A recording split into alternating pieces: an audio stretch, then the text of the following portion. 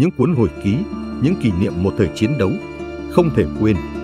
Chiến trường ca thật khốc liệt, mời các bạn cùng đón nghe hồi ký của cựu chiến binh chiến trường ca. Những ngày sau tổng tiến công chiến dịch K1, giải phóng vùng ba biên giới, đơn vị chúng tôi D2E143, sư đoàn 315 về chiếm giữ phòng ngự ba ngọn đồi 502, 500 và 504 dọc biên giới Thái Lan, Lào. Thời gian này cũng bắt đầu vào mùa khô. Mỗi ngọn đồi biên giới có một vẻ đẹp ngất ngây huyền ảo dưới bầu trời bao la thanh bình.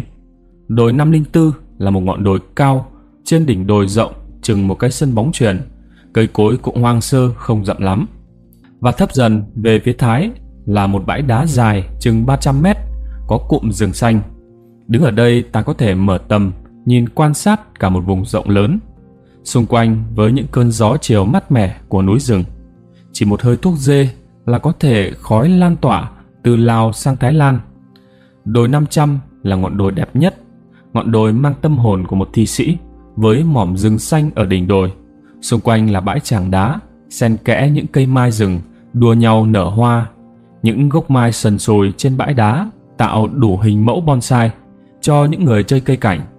Trước mặt là một vực thẳm, khi nhìn qua đất Thái, thật bình yên và thơ mộng. Đây là năm 502, một quả đồi mang nhiều ký ức nhất, một quả đồi không giống các ngọn đồi kia.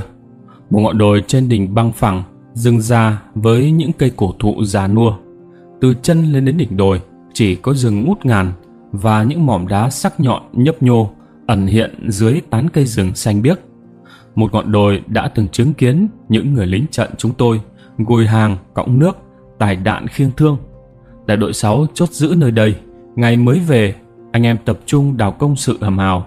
Còn chúng tôi, tổ trinh sát hàng ngày, vẫn tuần tra phía trước để nắm bắt tình hình hoạt động của bọn địch. Đến chiều, chúng tôi lại rút về chốt cùng anh em. Trời nắng nóng chói chang, ở chốt không có giọt nước. Chúng tôi tiết kiệm từng giọt, mà đồng đội vận tải phải gồng mình cõng tận dưới chân đồi lên để tiếp tế cho chúng tôi. Áo quần mồ hôi ướt đẫm sau một ngày đào công sự, cũng mồ hôi rầm rề sau những buổi tuần tra leo qua từng vách núi, rồi những bước chân đi vội vã khi trời chiều của những đồng đội vận tải xuôi về xuống chốt. Khi mặt trời sắp lặn, màn đêm buông xuống, chúng tôi chia nhau gác trong những đêm dài tĩnh mịch lặng lẽ giữa núi rừng. Thỉnh thoảng lại vang lên tiếng đề pa của pháo địch, mang theo những cục lửa đỏ rực xuyên màn đêm bay vút vào không trung. Những tiếng nổ xé toang cái không gian tĩnh lặng. Chúng nó bắn 469. Tụi tôi lên đài quan sát. Đài quan sát là một cái cây cao nhất ở trên đỉnh, nhìn về hướng 469 của đơn vị E733 xót xa, cầu mong cho các đồng đội ở nơi đó được bình an. Điểm đến là chúng bắn pháo, nhìn từ xa sang đất Thái, chúng tôi còn phát hiện được nơi trận địa pháo của chúng, ánh lửa vừa chớp lên là những tiếng rít xé trời, vút theo những tiếng nổ long trời. Ôi 469 tàn thương. Đơn vị tôi càng quyết tâm củng cố công sự chắc chắn hơn. Hôm ấy vào một buổi sáng, chiếc máy bay L-19 của bọn Thái bay vòng qua vòng lại, dọc dài theo tuyến biên giới. Khẩu phòng không 12 ly 7 của tiểu đoàn tăng cường cho C6 cũng vào vị trí chờ khai hỏa. Tất cả anh em cũng đã vào vị trí chiến đấu. Dường như chúng đã phát hiện được chúng tôi đang chốt giữ ở ngọn đồi này.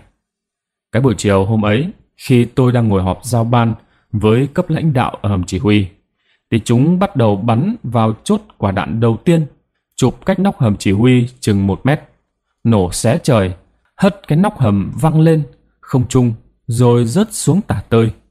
Những tràng đạn tiếp theo gần như phủ kín cả ngọn đồi, cây cối ngã ngổn ngang.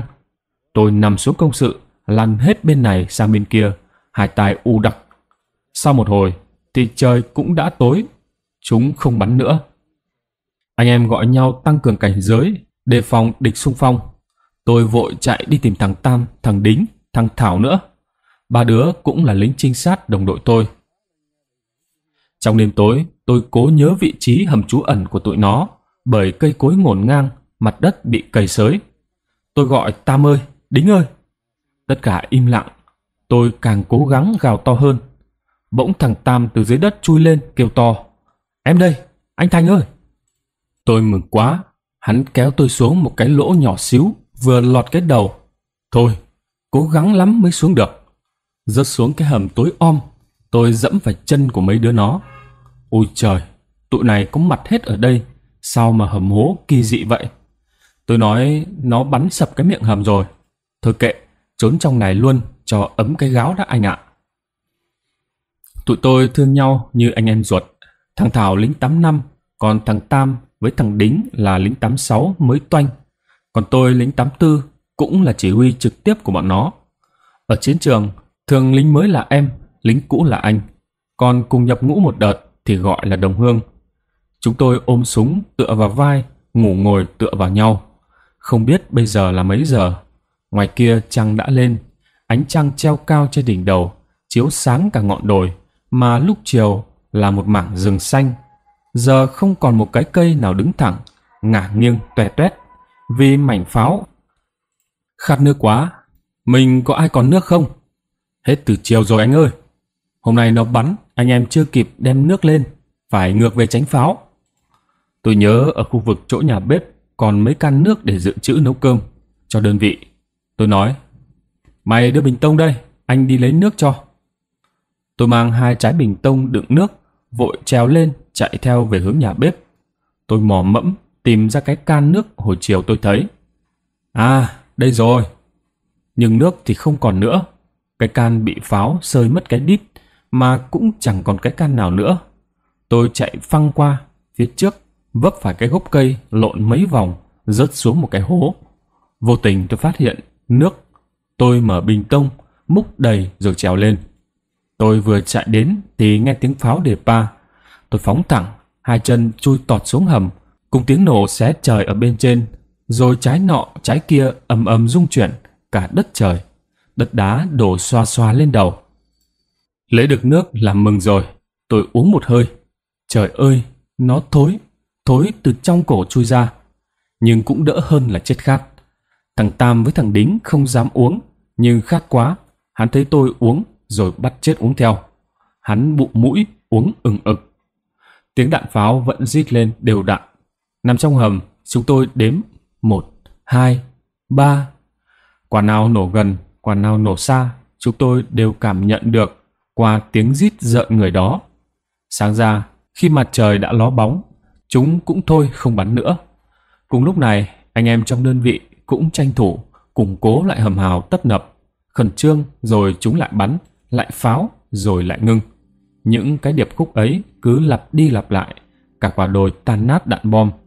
Giờ nằm phơi mình dưới cái nắng gay gắt của mùa khô. Nghe dần cũng quen. Nó bắn thì mình trốn. Nó hết bắn thì coi chỗ nào hư thì mình sửa lại. Xong rồi cũng chuyện trò.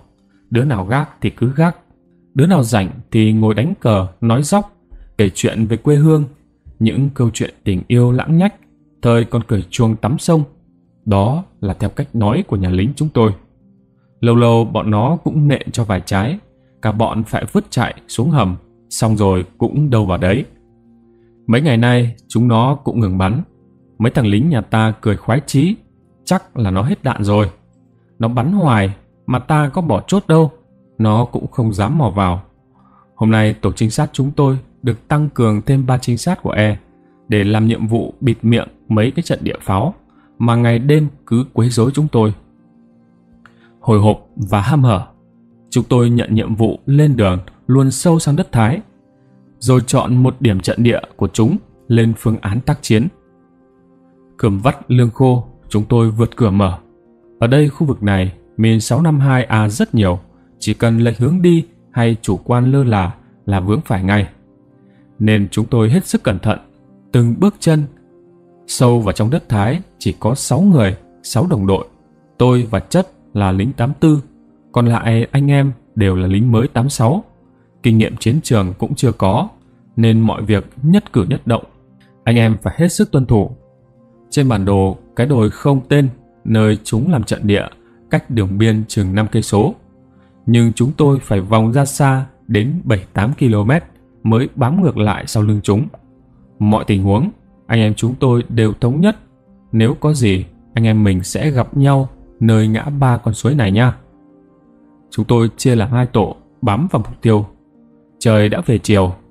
Đơn vị đã đến nơi hãy còn quá sớm để hành động. Tôi phát tín hiệu gọi thằng chất đến để trao đổi. Rồi lấy bánh nương khô ăn lót lòng. Căng mắt quan sát, bọn địch ở đây. Hai khẩu pháo đen ngòm của bọn chúng để đó xung quanh chất những bao tải đất thành những cái công sự cho pháo. Nhưng loại pháo gì thì chúng tôi không rõ, chỉ thấy cái nòng đen ngòm vươn lên. Hai dãy nhà bằng đất hình chữ L, phía trước sân là khoảng trống và hai họng pháo hướng về vùng biên. Chúng tôi đếm khoảng chừng hơn 20 đứa, mặc quần áo giàn di đen sậm màu. Chúng cười đùa náo nhiệt, rồi bỗng nhiên có một chiếc xe tải chạy đến. Bọn chúng nhao nhao chạy lại chỗ chiếc xe. Trời cũng bắt đầu tranh tối, tranh sáng. Có lẽ đây là thời cơ cho chúng tôi hành động. Mấy anh chàng lính mới lần đầu tiên gặp địch, mặt mày tái xanh, chân tay run lẩy bẩy. Chỉ có tôi và thằng Chất là bình tĩnh để anh em dựa dẫm tinh thần. Sau khi thống nhất phương án, tôi để lại thằng T và thằng D và thằng Thờ, chia cho ba đứa nó từng khu vực cảnh giác và bắn yểm trợ cho ba thằng tôi. Nếu địch phát hiện và đường vận động rút lui, thằng Hoàn lính 86 trinh sát E, nhưng lì lắm. Nó ôm trái mìn Claymore, lăn mấy vòng tiếp cận khu nhà bên trái. Tôi cũng nhòi người theo nó. Sau tôi là thằng Chất. Chúng tôi đột nhập vào nhà nó. Tụi địch lúc này hoàn toàn không hay biết gì về sự xuất hiện của chúng tôi. Chúng vẫn vô tư cười đùa và khuân vác cái gì đó từ trên xe xuống. Có lẽ khoảng cách chiến thắng của chúng tôi đã đến gần. Điều bất ngờ ngoài sự tính toán của chúng tôi, một thằng địch xuất hiện từ trong nhà sau hỏi một câu như quát. Tôi không biết là nó nói gì. Sau tiếng quát, tôi lật người sang một bên, đồng thời một loạt đạn nổ rền vang. Sau tiếng súng, tôi trồm dậy, xông vào. Bỗng thằng Hoàn phóng vọt qua đầu tôi, lăn mấy vòng. Tôi chưa kịp chạy lại, thì loạt đạn thứ hai tiếp theo. Nhưng lần này, nó bỏ chạy ra xa, sau nhà bắn vào. Tiếng còi báo động của bọn nó vang lên. Tụi tôi hoảng loạn, đứa chạy vào, đứa chạy ra, hò hét chỉ trỏ. Trời loạn nhọn tối, không nhìn thấy rõ, không phân biệt được đâu là địch, đâu là ta. Ba thằng tôi chạy lòng vòng như trò chơi với tụi nó. Tụi nó không dám bắn, có lẽ sợ bắn nhầm nhau. Trong tích tắc, những quả pháo sáng chúng bắn lên bầu trời sỏi rõ. Đây cũng là cơ hội để bọn tôi thoát. Vừa ra được khỏi vòng vây thì địch đã xác định được và bắn theo như vãi chấu. Tôi thầm trách ba thằng kia đâu. Sao không bắn điểm trợ cho chúng tôi? Trời đất ạ, ba ông kia đang bơi trên cái bụi gai mắt mèo mà không thoát ra được, phơi mình lồ lộ dưới ánh đèn trái sáng. Tôi quay lại ra hiệu cho thằng Chất và thằng Hoàn chạy sang hướng khác để đánh lừa bọn địch. Chúng tôi bắt đầu bắn trả. Từng loạt điểm xạ của ba thằng tôi vang lên. Bọn địch khựng lại rồi bắt đầu dùng hỏa lực bắn mạnh về phía chúng tôi. Những tia chớp lóe lên trong màn đêm. Sau tiếng nổ chát chúa, những tiếng mảnh đạn rơi lạo xạo. Lúc này mấy ông kia cũng vừa thoát được cái bẫy gai bùng nhùng bỏ chạy. Mấy thằng tôi chạy theo, bỗng nghe đau nhói ở bàn chân. Tôi khụy xuống, rồi đứng lên. Rồi lại nghe nhói quá, không chạy tiếp được. Tôi nằm xuống, ôm cái bàn chân, thấy cái trông ba cạnh xuyên qua cả đế giày, vươn lên cả mu bàn chân. Hai cái cạnh còn lại vướn hai bên. Tôi đá mạnh phần cái cạnh trông và gốc cây, tụt cái trông ra ngoài, nhứt buốt. Thấy tôi ngã, thằng chất cùng đồng đội chạy lại, nằm xuống bên tôi. Lúc này địch bắn dần ra xa. Chắc là nó nghi bọn tôi đã chạy nên bắn đuổi theo. Tiếng đạn nhọn cũng từ từ tưa dần rồi tắt hẳn. Lúc này chúng bắn cối 60, nghe rõ từng tiếng đề pa, rồi tiếng nổ xa dần, xa dần về hướng chốt.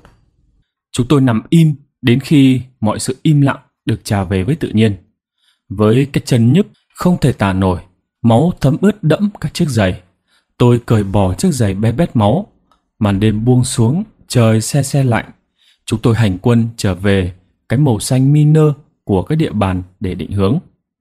Tôi cố gắng vừa bước vừa có hai tay ôm vai đồng đội giữa trời khuya.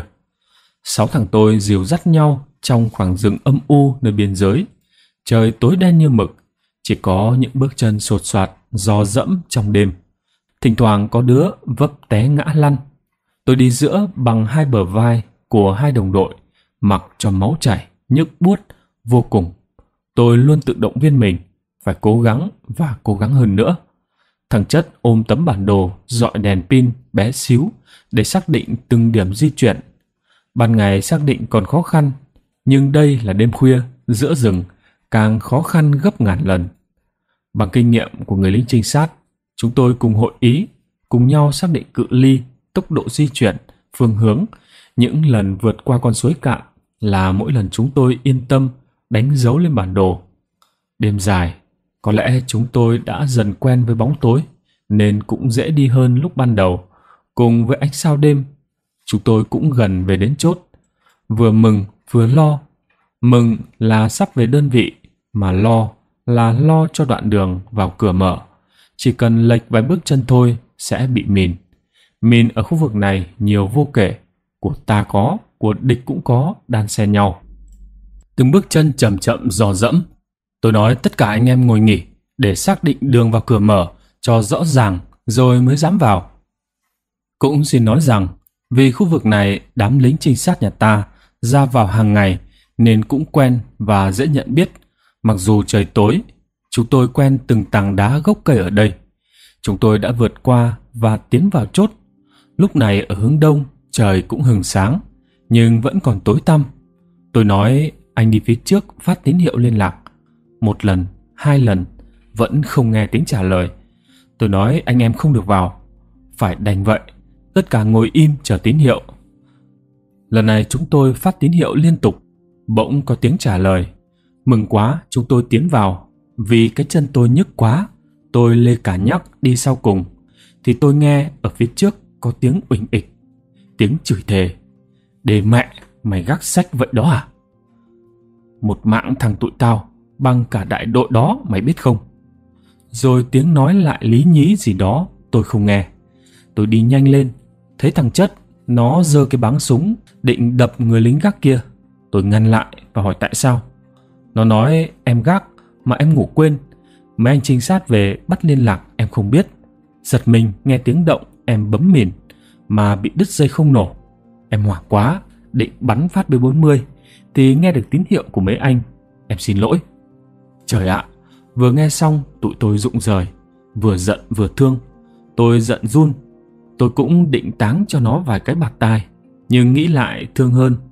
Cho cái thật thà của nó đã dám nói lại cái hành động ngu dại của mình. Thương cho nó ngồi gác mỏi mòn rồi ngủ gật, giật mình hành động theo bản năng của người lính trận, chứ không hề ác ý. Thôi vậy, cũng mừng. Anh em chúng tôi lên chốt nghe tiếng tụi trinh sát về. Anh em cũng chạy đến hỏi han tình hình. Phía bên kia có phát hiện gì không? Có làm thịt được tụi nó không? Mà nghe tiếng súng quá trời vậy. Thôi để tụi mình nghỉ ngơi chút. Trời cũng chưa sáng. Chúng tôi tản ra xin ở ké hầm cùng các đồng đội. Thằng Nhung thấy tôi mừng như mở cờ trong bụng. Vào hầm mình ngủ nha, đồng hương. Tôi theo thằng Nhung vào hầm trú ẩn của nó. Hắn thấy cái chân tôi máu me, hắn suýt xoa, lấy gạt, lấy băng, nước oxy già thấm bông gòn, lau sạch rồi băng lại dưới ánh đèn dầu khộp. Hiu hiu xong hắn nói, Đồng hương vào trong nằm, để mình nằm ở ngoài cho. Cái chân tôi dở nhức quá, tôi không ngủ được. Lấy cuộn băng làm cái dây treo chân lên nóc hầm cho đỡ nhức. Thằng Nhung nó đồng hương tôi, hai đứa nhập ngũ cùng một đợt, có cái tên rất là con gái, nhưng tính nó nhát gan. Nó rất nể cái sự gan lì của tôi, trái ngược với vẻ ngoài thư sinh thời đó. Nó nằm nói chuyện với tôi suốt cho đến khi trời sáng. Nào là chuyện hồi còn ở nhà. Nhà hắn ở gần biển. Ôi đủ thứ chuyện về biển. Rồi chuyện gia đình anh em. Tôi im lặng rồi ậm ừ. Rồi tôi hỏi. Nhiều chuyện vậy sao tao không nghe mày nói chuyện bồ mày cho tao nghe? Hắn không nói mà chỉ cười. Bất chợt hắn ngồi dậy nói. Đồng Hương. Tôi giật mình. Đợi khi nào ra quân sẽ gả em gái mình cho Đồng Hương nha. Hắn cười đúng rồi. Mày làm em rể tao. Tôi nói. Này, mình nói nhỏ Đồng Hương nghe nha. Em gái Đồng Hương có giống Đồng Hương không? Nó nói không. Em mình giống mẹ đẹp gái. còn mình giống ba. Mình cười nói, tưởng em gái mà lại giống đồng hương, thì thôi, mình ở quá luôn. Trời cũng vừa sáng, tiếng đệp pa của pháo bắt đầu rít lên từng hồi. Nổ âm âm rung chuyển cả đất trời. Hai thằng tôi ôm nhau, nằm co ro trong góc hầm, đất đá nổ loa xoa. Những ánh chớp không tưởng, cứ lóe lên rồi vụt tắt. Trời cũng đã sáng, tiếng pháo cũng vừa ngưng. Chúng tôi chui ra khỏi hầm, vươn vai, ngắm bầu trời trong xanh, gió mát. Thằng Nhung chạy lăng xăng đi lấy cơm. Nó khui lon thịt hộp mà nó để dành bấy lâu nay để tiết đãi tôi. Nó nói đồng hương ở lại ăn sáng với mình nha. Tôi gật đầu. Tự nhiên tôi thấy lòng bối rối, nôn nao. Không biết hôm qua đến giờ, mấy thằng lính nhà tôi trốn ở đâu. Pháo bắn như vậy, tụi nó có sao không? Tôi là người chỉ huy tụi nó mà không biết lính mình giờ ra sao. Giờ đây sao ngồi ăn được? Tôi phải tìm tụi nó. Nhung ơi, thôi tao về nha. Coi tụi nó làm hầm hào ra sao đã. Xin lỗi nha, đừng giận. Cái chân tôi đau quá, tôi cố gắng vội bước đi. Vừa rời chỗ thằng Nhung chừng 20 mét, thì một tràn pháo phủ lên đỉnh đồi. Tôi phóng thẳng xuống giao thông hào, chạy về hầm. Vừa ngớt làn pháo, thì tôi nghe tiếng đồng đội la ới ới, có thương vong. Tôi nhòi người lên khỏi hầm, thì thấy một đồng đội tôi ôm cánh tay đầy máu, chạy xuống hầm quân y. Một làn pháo tiếp theo rền vang cả núi rừng, đất đá bay tung tóe. Ngớt pháo, anh em vừa trồi lên lại nghe tiếng đề pa, lại chui xuống hầm. Ba hiệp pháo liên tục, cây nát quả đồi. Chỉ mới mấy ngày trước là rừng già, còn bây giờ là núi trọc, như vừa qua cơn động đất. Tôi nghe tiếng đồng đội la to, có thương vong ở chỗ hầm thằng Nhung. Tôi ngồi dậy chạy về hướng la, cái chân tôi cũng chẳng còn đau nhức nữa. Đến nơi, tôi thấy chỉ có một cái chân đồng đội trên bờ giao thông hào, còn người thì không thấy. Máu vùng vãi khắp nơi. Cái thau cơm chưa kịp ăn sáng, đổ xòe trên mặt đất, hòa cùng máu tươi. Tôi gào to, Nhung ơi!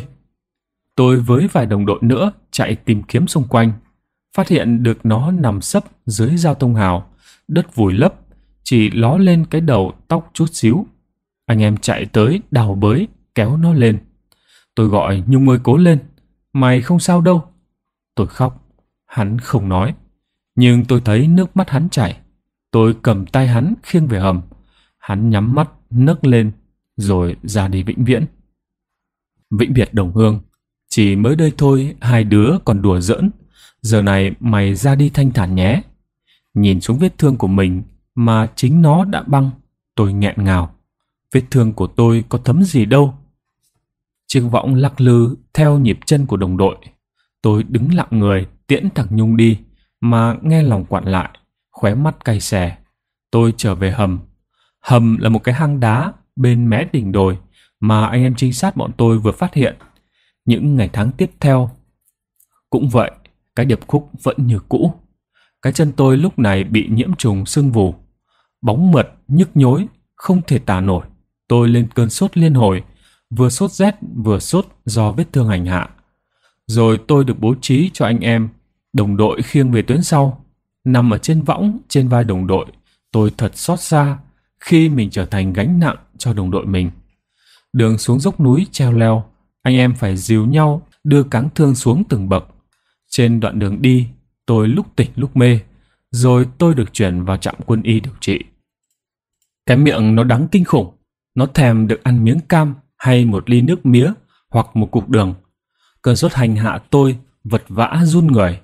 Hai hôm sau, cơn sốt cũng qua đi, chắc cũng nhờ mấy mũi kim của bác sĩ xuyên vào mông, đều đặn sáng chiều.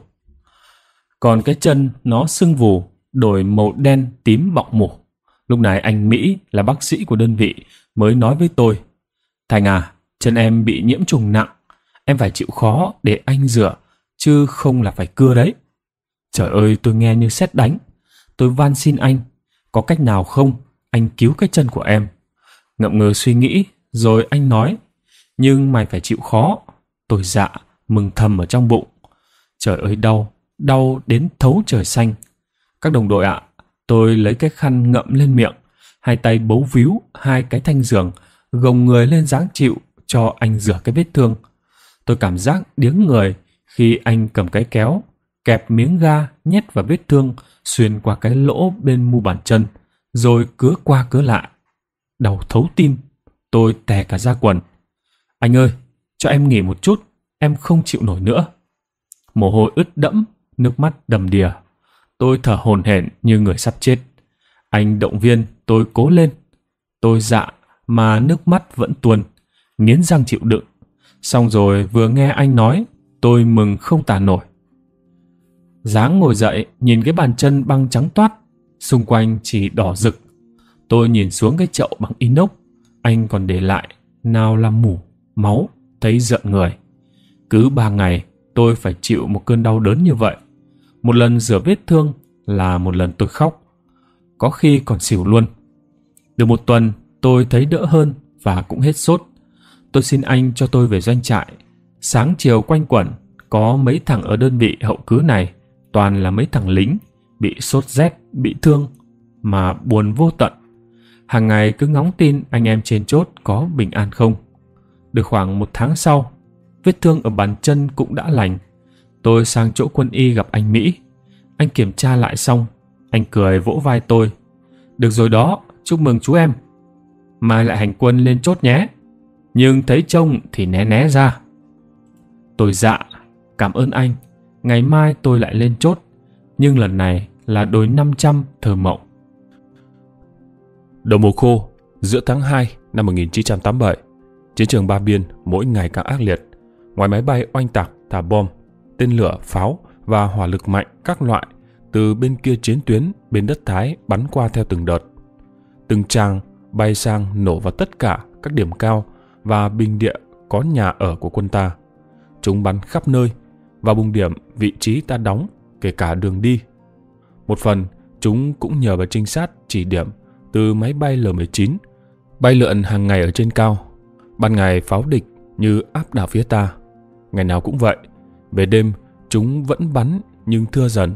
Chủ yếu là pháo tầm xa giữa ta và địch bắn đối lưu phản nhau. Chắc hẳn những đồng đội của chúng ta, những ai đã từng đến Trung đoàn 733, Sư 315, tham gia công tác phục vụ chiến đấu tại chiến trường Ba Biên vào thời gian này là đầu mùa khô năm 87 và sau đó đều biết và nghe những địa danh giận người. Máu của quân ta cùng địch tại chiến trường này. Ngoài điểm cao 384 và 416 ra, tiếp theo là trận đánh phòng ngự của điểm cao 3 số 5. Đây có lẽ là trận đánh nhiều gian nan và khốc liệt nhất ở chiến trường Ba Biên trong thời điểm này. Đội ba số, tức 555, nằm thòi lòi qua đất Thái, theo đường biên giới Campuchia chừng 1 km, trích về bên phải. Tính theo trục đường từ ngã ba Thái, Lào, Cam, lên cao điểm 743-753. Trên mặt đỉnh đồi này có hình dáng như chiếc giày đơn độc. Từ phía đường biên nhìn qua hướng Thái, phía ta nhìn qua Phía bên trái là phần của gót giày như hình dung. Bên này là mỏm đá nhô lên, có nhiều cây cổ thụ và dây leo. Nhìn có phần cao hơn nhiều với rừng cây bên phải của đồi này. Phần đồi bên phải phình ra, bằng phẳng nhiều hơn, ít đá. Bên trái của mỏm đồi đá này, tiếp dốc nghiêng là qua in ngựa của điểm cao chốt 562. Phía sau mỏm đá này có đường dốc đá để đi lên chốt và chi viện khi cần. Bên phải của chốt này, hơi trích về hướng tái, cũng có đường dùng để bí mật chi viện lên chốt, chứ ít đi vì đường đi lại rất khó khăn. Ở đây không phải đường, mà chỉ đi thang dây và bám đi theo vách đá treo leo, rất hiểm trở vì có vực sâu. Bên phải của chốt dưới bình địa là trại tù trước kia của bọn Pốt. Nơi đây có rất nhiều xương người. Nhìn về phía bên phải từ xa kia, chừng hơn một cây số, là chốt của 416. Còn phía sau chốt này cũng trích về bên phải là cao điểm 500, tức đội không tên. Cách nhau chừng 800 mét đường chim bay, hướng đối diện của chốt này. Trước phía bên trái trước mỏm đá là dốc nghiêng lởm chởm đá nhô lên. Còn hướng đối diện bên phải trước chốt này là rừng cây dốc thoai thoải. Đi xuống đến chừng 500 mét là hồ nước.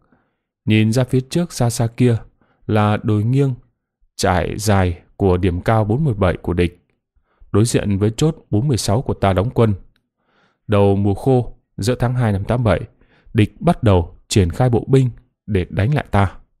Chúng đã tấn công đánh các chốt 384 và 416. Nơi đây quân ta đang đánh nhau với bộ binh của địch dữ dội từng ngày.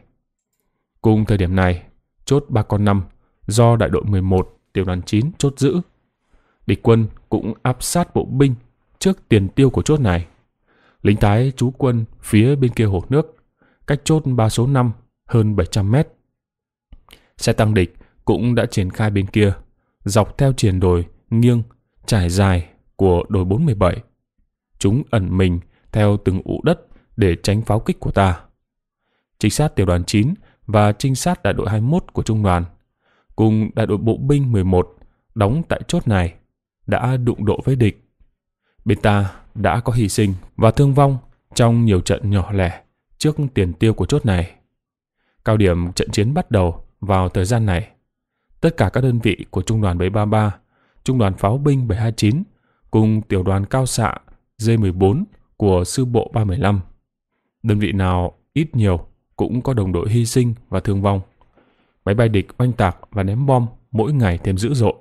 Chúng trút bom, quét, bom trục, bom xăng và cả bom bi. Bom nổ khắp nơi, pháo binh cối tầm xa của địch, nổ cày lỗ chỗ trên mặt đất. Cây cối đổ gãy ven đường và các cao điểm của quân ta đang chốt giữ. Pháo binh của ta cũng nổ bên đất Thái hàng ngày, nhưng vẫn không nổ nhộn nhịp như pháo của bọn địch. Cao xã 37 ly cùng tên lửa vác vai của ta thì hàng giờ bắn máy bay của địch mỗi khi chúng bay qua để ném bom.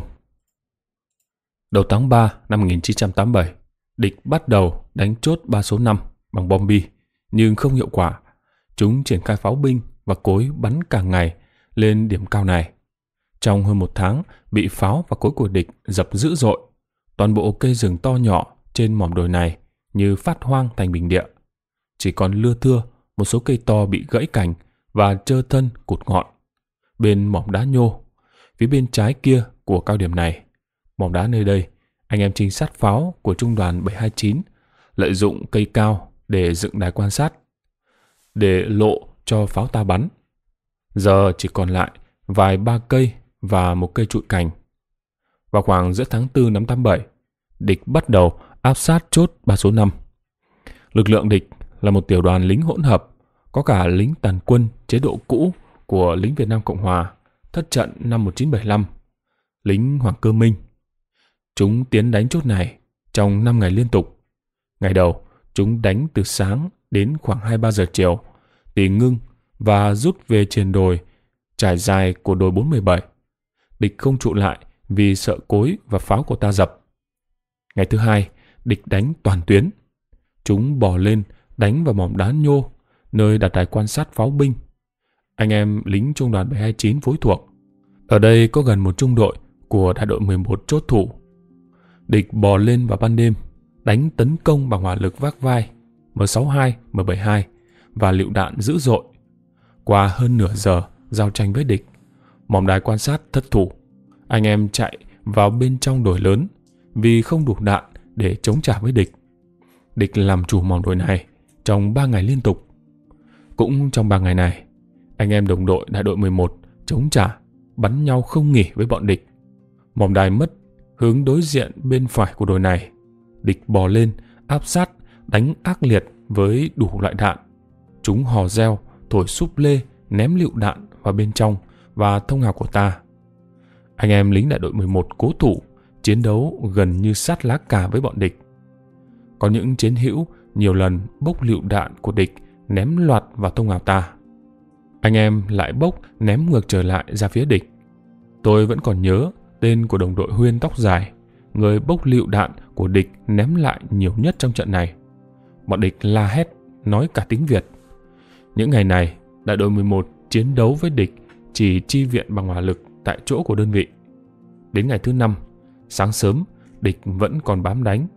Chúng cố chiếm quả đồi này. Nhưng 8 giờ sáng cùng ngày, pháo binh ta bắn dữ dội qua hồ nước và triền đồi trải dài của đồi 417, nơi trú quân tiền phương của bọn địch. Cối C-13 trung đoàn bắn chi viện lên trước trên chốt này. Địch rút chạy về phía bên kia. DKZ 130,6 ly từ đồi 502 của ta bắn thẳng qua mỏm đá nhô. Đài quan sát pháo, nơi địch chiếm giữ, nổ cấp tập, đến 11 giờ trưa thì ngưng. Anh em bộ binh đại đội 11 bò ra để đánh chiếm lại, nhưng chỉ đánh chớp nháy. Địch tuộc dốc tháo chạy, ta thu một số súng đạn và địch để lại mấy xác chết chưa kịp đem về. Sau trận đánh, buổi chiều, đại đội 9 tiểu đoàn 9 chúng tôi được lệnh của tiểu đoàn cơ động cõng đạn cối 82 ly lên chi viện cho chốt này. Tôi được đại đội phân công cùng 12 đồng đội do đồng đội Nhàn quê Tuy An, Phú Yên chỉ huy. Xuống kho lấy quân khí, đồng đội Dũng, quân khí tiểu đoàn, quê ở Cam Ranh, nằm dưới suối phía sau, dưới chân đồi 562 cạnh đường biên. Nhận đạn, mỗi người được 6 quả mang ba lô và hai quả cột dây thòng cổ cùng súng đạn mang theo. Cõng lên chốt này, lên đến nơi mới thấy được sự tàn phá hoang tàn của bom, của pháo. Mặt đất bị cầy loang lộ cây cối tan hoang, mùi khắc thuốc đạn vẫn còn nồng cay. Những tảng đá bị pháo nổ vỡ ra thành nhiều mảnh. Cây cối bay đi đâu mất, bình địa còn lại một màu đất mơ. Bột đất đã tơi như làm nương rẫy. Anh em đồng đội chúng tôi giao đạn xong, chuẩn bị quay về thì pháo Thái Lan bắn qua và dập mấy chàng trên đồi này. Bốn đồng đội của đại đội 11 hy sinh vì chúng nguyên một trái pháo ở trên miệng hầm. Khi anh em chuẩn bị ăn cơm, lúc này là 5 giờ chiều. Nấp pháo xong, chúng tôi chạy lại về đơn vị. Kết thúc trận đánh phòng ngự của đại đội 11 tiểu đoàn 9 đối đầu với một tiểu đoàn địch trong 5 ngày. Ta vẫn giữ nguyên chốt 555, nhưng sự hy sinh và thương vong của quân ta cũng đáng kể. Mới thấy được sự kiên cường, dũng cảm của những người lính, những người đồng đội cùng thời chiến trận, nơi chiến trường Ba Biên, mùa khô thật ác liệt. Sau trận đánh phòng ngự giữa tháng 4 cuối mùa khô năm 1987, địch bị thất bại trước sự dũng cảm kiên cường của anh em bộ binh đại đội 11 tiểu đoàn 9. Cộng với sự phối hợp tác chiến của các đơn vị hỏa lực trung đoàn cùng pháo binh trung đoàn 729, quân ta đã thành công trong chiến đấu phòng ngự tại cao điểm này. Chỉ huy đơn vị này hiện tại Trung úy Hoàng quê Bình Sơn Quảng Ngãi đại đội trưởng, Thiếu úy Phúc cùng quê Bình Sơn. Riêng Thiếu úy Thuấn quê Đức Linh Thuận Hải, đại đội phó đi phép vào tháng 3 trước trận đánh này chưa qua. Sau khi thất bại đánh tấn công đồi ba số 5, lính Thái dường như rút hẳn bọn bộ binh ra xa về cứ điểm để trú quân. Chúng chỉ còn hoạt động các lực lượng biệt kích, lính áo đen, ó xanh. Thường xuyên len lỏi bám sát hoạt động của quân ta vào những thời điểm thích hợp. Riêng máy bay L-19 thì trinh sát trên cao từ sáng đến chiều tà. Còn pháo binh địch bắn cả ngày lẫn đêm. Máy bay địch ném bom ở khắp nơi, các điểm cao và bình địa ta đóng quân.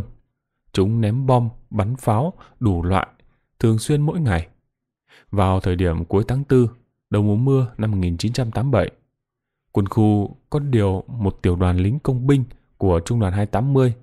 Đơn vị này đóng quân ở cầu Sirapok, tiểu đoàn 4, công binh, Trung đoàn 280 lên Ba Biên, với nhiệm vụ đào hào công sự, hỗ trợ anh em lính bộ binh Trung đoàn 733 để vận chuyển thương tử và chi viện khi chiến sự xảy ra, sẽ lưu thông vận chuyển dưới tông hào chiến lược này. Đường giao thông hào công sự này rất rộng và sâu, chiều ngang 2 mét và sâu cũng đến 2 mét. Đất đào được ném đều hai bên nên nhìn rất sâu. Đường hào công sự bắt đầu từ thung lũng đại đội 13, cối của trung đoàn bộ 733. Phía sau chân đồi 500, anh em công binh của tiểu đoàn 4, trung đoàn 280 đào đến đầu tháng 6 năm 87 đã lên tới đường biên, chỉ còn cách khoảng 500 mét nữa là đến chân đồi 562. Ở đây, chiến hào công sự này được đào rẽ thành ba ngã. Một đường hào công sự hướng qua chốt 555. Một đường hướng đến biên giới chân cao điểm 562. Anh em công binh đang đào cả ngày đêm không ngừng nghỉ. Tôi có hai đồng hương cùng quê Đức Linh, Thuận Hải ở đơn vị này. Đơn vị C3 công binh của tiểu đoàn 4, trung đoàn 280. Đồng hương Dũng và đồng hương Thành ở gần nhà. Cùng thôn, hai đồng hương đi lính đợt 1 năm 85. Trước tôi một năm, nghe được thông tin tôi từ bãi trảng 694 chạy xuống tìm đồng hương. Chúng tôi gặp nhau tại đây, mừng vui như muốn khóc. Nhưng vì công việc, nhiệm vụ khẩn trương, nên anh em chúng tôi không được thành thơi để nói chuyện. Tôi ở chờ, đến khi hai chiến hữu được nghỉ giải lao, chúng tôi mới có thời gian thăm hỏi nhau. Vì anh em công binh phải tranh thủ lúc không có máy bay địch ném bom thì đào cho kịp nhiệm vụ. Còn pháo bắn vẫn đào bình thường. Ba chúng tôi đang ngồi ở dưới công sự hút thuốc hỏi thăm nhau. Thì nghe tiếng vu vu. Nhìn lên bầu trời, có chiếc L-19 đang bay lượn vòng vòng ở trên cao. Cùng lúc là chiếc xe Rin 31 từ trung đoàn chở Châu lên cho đơn vị tiểu đoàn 9 chúng tôi. Lúc này đã hơn 3 giờ chiều.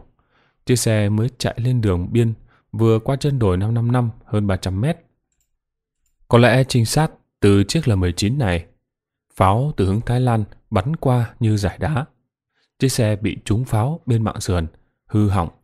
Riêng đồng đội tài xế thoát nạn, một con trâu bị thương bỏ chạy. Còn hai con sống thì không sao. Lúc này đại đội 3, tiểu đoàn 4 công binh trung đoàn 280 của đồng hương tôi. Pháo địch bắn trúng ngay trên bờ công sự, nổ mấy chặng liền. Anh đại đội phó của đơn vị này và một chiến sĩ hy sinh trúng mảnh pháo địch. Sau đợt pháo địch bắn, tôi, Thành và Dũng ôm nhau lần nữa rồi chia tay. Tạm biệt đồng hương cùng quê nhà. Tôi chạy lại về đơn vị. Chiến trường Ba Biên mỗi ngày càng ác liệt hơn với bom pháo của bọn địch. Giữa tháng 6 năm 87, địch bắt đầu chuyển quân đóng theo rìa bên kia của triển đồi, trải dài ở điểm cao 417. Từ chốt 694, đơn vị chúng tôi, đại đội 9 tiểu đoàn 9, đóng quân. Nhìn qua bằng mắt thường, vẫn thấy rõ lính Thái di chuyển quân, lên xuống triển đồi này rất đông. Lực lượng địch có thể vài tiểu đoàn trú quân ở đây. Máy bay trực thăng địch bay tầm thấp đến triển bên kia của đồi này nhiều lần trong ngày, liên tục hơn một tuần. Xe tăng địch có bốn chiếc cũng bố trí ở đây. Chúng thường xuyên bắn tầm thẳng, khống chế chốt 694, đơn vị chúng tôi đóng quân. Có thể địch vận chuyển bằng máy bay trực thăng, chờ dụng cụ phục vụ cho tác chiến. Chiến trận sắp xảy ra, nhưng chưa biết địch đánh chốt nào, đơn vị nào của ta trong thời gian tới đây. Tháng 6 năm 1987, chiến trường Ba Biên vào mùa mưa rừng, có lúc mưa triền miên, cả ngày không dứt. Đặc điểm riêng của mùa mưa rừng ở đây không nặng hạt, ít gió, mưa phùn lâm dâm, có khi mưa liên tục đến mấy ngày. Trời mưa thì quân ta khỏi phải núp bom bi của địch vì máy bay không qua ném bom. Nhưng pháo địch vẫn bắn cả ngày lẫn đêm không nghỉ. Những ngày càng về cuối tháng 6, địch tập trung cối, pháo tầm xa, bắn khắp mọi nơi. Dường như chúng bắn không sót một vị trí nào kể cả các đơn vị tuyến sau. Chúng tập trung pháo binh, bắn chốt 500. Anh em đơn vị DKZ ở đây dường như không khai hỏa được. Chốt 562 do đơn vị đại đội 10 tiểu đoàn 9. Ở đây, địch cũng tập trung cối, pháo, bắn cả ngày đêm. Quân ta có thương vong. Đơn vị đại đội 9 tiểu đoàn 9 chúng tôi đóng chốt ở 694 một trung đội. Ở đây cũng có khẩu pháo DKZ 82 ly của tiểu đoàn phối thuộc. Cũng phải đấu nòng súng vào trong hầm, chủ yếu bắn vào ban đêm và sáng sớm khi có lệnh bắn. Còn ban ngày trên đỉnh đồi này, dường như giao cho pháo địch nổ. Pháo từ xe tăng địch bên triển đồi thấp 417 bắn qua. Riêng chốt ba con năm, địch tập trung cối và pháo bắn vào chốt này nhiều hơn vào buổi chiều. Thật ra, có thể địch đã ém quân từ ngày 24 tháng 6 năm 87. Đến trưa ngày 26 tháng 6, địch quân đã tràn vào yên ngựa của đồi 526, tiếp giáp đài quan sát đồi 555. Cách chừng 300 mét, anh em lính đại đội 10 cảnh giới. Phục địch phải rút lui vào bên trong phòng ngự vì địch rất đông. Hướng đối diện chốt 3 con năm, hướng hồ nước địch đã tiến lên. Tiếng súng con cùng hỏa lực của ta đã bắt đầu nổ. Đạn R, M62, M72, xít tốc của địch cùng tiếng AK, B40, B41, 12 ly 7 của ta bắn vào đầu nó dữ dội.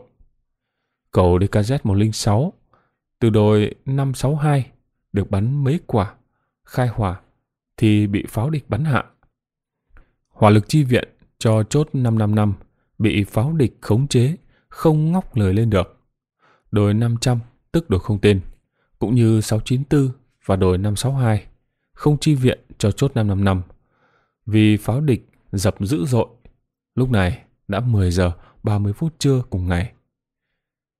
Tiếng đạn của ta và địch tại chốt ba con năm nổ đến 1 giờ chiều thì ngừng chiến. Đến 2 giờ chiều cùng ngày, địch tổ chức tiến đánh lại. Cũng hướng đối diện hồ nước này, anh em đồng đội đại đội 11 chiến đấu kiên cường, quyết liệt với bọn địch. Chúng tổ chức nhiều đợt tiến công, nhưng không thể thêm được. Cối đại đội 13 của Trung đoàn bộ Trung đoàn 733 cũng đã chi viện. Bắn ra trước triển đồi 555 nơi địch đang tiến đánh. Chỉ còn hơn vài chục mét là địch có thể chiếm thông hào chiến đấu của ta. Cùng thời điểm, bên đồi 600, đại đội 9, tiểu đoàn 9 chúng tôi đóng quân trên cao điểm này.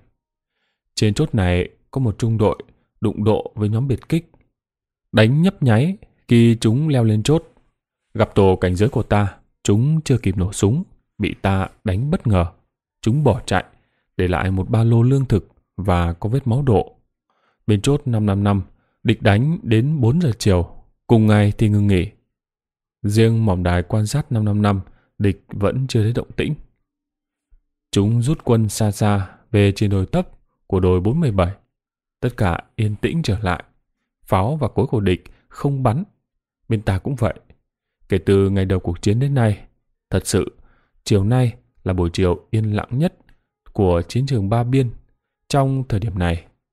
Từ chốt 694, đơn vị của chúng tôi nhìn sang trên triển đồi 417. Quân địch rút về đây. Có rất nhiều võng khiêng xuống bên kia triển đồi này. Máy bay trực thăng địch bắt đầu bay lui. Bay tới đây cho đến tối vẫn còn nghe bay. Có lẽ máy bay địch vận chuyển tương tự, chắc quân địch tiêu hao lực lượng cũng không phải ít. 4 giờ 30 phút sáng ngày 27 tháng 6 năm 1987, tiếng súng đạn nổ vang dội cả một góc trời ba biên. Từ hướng chốt ba con năm, địch đã tấn công. Chúng bò lên đánh chiếm mỏm đá ở đài quan sát đồi này. Địch chưa đánh hướng chính diện. Hướng đối diện xuống hồ nước, chúng đánh bất ngờ và tràn quân lên từ mỏm đồi đá này. Quân ta kháng cự quyết tử với bọn địch ở hướng này. Nhưng thường thì hướng này an toàn nên không có giao thông nào chiến đấu ở bên trong. Địch dễ tấn công bằng hỏa lực. Đại liên địch nã đạn như mưa. Hướng này anh em đồng đội phải vào hầm cố thủ. Tiếng súp lê địch thổi vang khắp nơi. Đến 2 giờ chiều cùng ngày, địch đã chiếm toàn bộ bình địa của chốt này. Đồi 555 thất thủ, anh em đồng đội C11 cố thủ ở trong hầm, kháng cự với lực lượng của một tiểu đoàn địch. Đại đội 11 đã mất thông tin liên lạc với chỉ huy tiểu đoàn 9, mất chi viện đạn dược, nước uống, lương thực trong thời gian chờ chi viện. Chiều cùng ngày, đại đội 9, tiểu đoàn 9 chúng tôi có đồng đội Điếu, lính đợt 1586, người dân tộc Ba Tơ, Quảng Ngãi, dẫm phải mìn K58, bị bay mất cả hai chân, nhưng vẫn còn sống. Lúc anh em đơn vị khiêng đi, vẫn còn thở, nên tranh thủ chạy. Xuống đến ngã ba biên, thì đồng đội đã tắt thở. Lúc này, đã gần 5 giờ chiều, có tiếng xe ủi lên đang ủi mặt bằng ở phía trái bên đường từ dưới lên, đoạn lưng chừng dốc. Phía trên cây cầu đá, qua đại đội 17 thông tin ở trung đoàn bộ. Cách cầu chừng 200 mét, gần tới ngã ba biên. Ở đây nhìn lên đồi 555, thấy rất tổng thể, được 3 phần đồi. Còn một phần bị khuất ở hông sườn đồi 500. Về hướng Bắc, khi anh em chúng tôi bàn giao đồng đội điếu xong, quay về khoảng gần 6 giờ, một khẩu pháo 37 ly hai nòng đã kéo lên vị trí này, được giá trên mặt đất bằng chứ không có trận địa. Có lẽ anh em cao xạ của tiểu đoàn 14, sư đoàn bộ 315 cũng đã chỉnh hướng tầm ngắm xong. 4 giờ, dạng sáng ngày 28 tháng 6 năm 87, quân ta chuẩn bị phản công để chiếm lại chốt 555. Một tiểu đoàn của trung đoàn 142 cùng sư 315 đã tăng cường chi viện từ chiều hôm qua. K6 trung đoàn 142 cùng tiểu đoàn 7, trung đoàn 733 chúng tôi đã ém quân dưới chân đồi. Phía bên này chốt hướng ra đường biên, đã hiệp đồng chiến đấu, tất cả chờ lệnh khai hỏa. 5 giờ sáng cùng ngày, DKZ từ đồi 500 bắn thẳng qua địch 555, nơi có địch lưu trú. DKZ ở đồi 694 bắn qua trên đồi 417 của địch. Pháo binh trung đoàn 729 cũng bắn qua điểm đồi này. Một chiếc xe tăng địch bị trúng pháo của ta, lửa bốc cháy. Ba chiếc còn lại cũng đã di chuyển. Cao xạ 37 ly hạ nòng bắn thẳng lên bình địa ở đỉnh 555 cùng lúc. Bộ binh K6 trung đoàn 142, tiểu đoàn 7 trung đoàn 733 bò tiến lên điểm cao này. Cối của đại đội 13 trung đoàn cũng bắn tập trung lên bình địa của đồi. Bộ binh chỉ tiến lên cập trường, chờ cối và cao xạ 37 ly của ta. Địch quân ở trên chốt 555 không thể ở lâu, chúng đã bỏ cả tử thương, tháo chạy. Đến 8 giờ sáng cùng ngày, ta đã làm chủ toàn bộ đổi ba số. Bộ binh hai tiểu đoàn phối hợp tiến lên, không bắn viên đạn nào. Sau đó rút xuống chốt, địch để lại bốn xác chết còn nguyên vẹn ngay ở sân bóng gần hầm đại đội này. Còn thịt người thì tung vãi khắp nơi ở dưới triển chốt. Riêng đại đội 11 hy sinh một đồng đội nuôi quân, bị thương một số đồng đội nữa lúc chiến đấu ngay trước 4 giờ chiều cùng ngày. Nhận lệnh của chỉ huy tiểu đoàn, đại đội 9 chúng tôi chi viện lên chốt 555, một trung đội, đóng tại mỏm đá đài quan sát do thiếu úy Đặng Quốc Việt quê Tam Kỳ, đại đội phó chỉ huy. Lên kết hợp phòng ngự cùng đại đội 11 tại điểm cao này, cho đến khi bàn giao chốt cho đại đội 5 tiểu đoàn 8 cùng trung đoàn 733 chốt giữ thì rút về. Riêng đại đội 11 sau khi giao chốt đã chuyển qua đóng ở phía trước dưới chân đồi 623, đường qua điểm cao 741